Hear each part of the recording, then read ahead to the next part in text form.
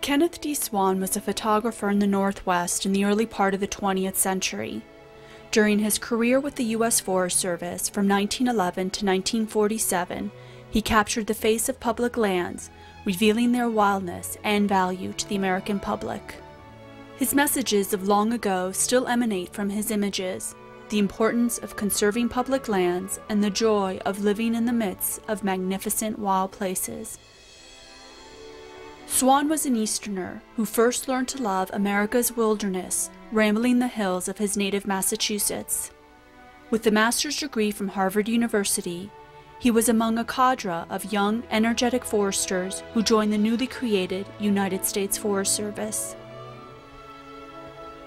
Swan arrived in Missoula, Montana in the summer of 1911 to begin his job with the agency his work in forestry eventually led into the arena of public information and photography.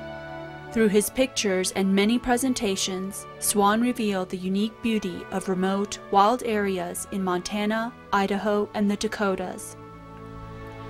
By Swan's retirement in 1947, his work had become art that transcended the mere recording of a place and time. Today, almost 100 years later, the photographs still engage and entrance viewers and tell a resounding story about public lands in the West.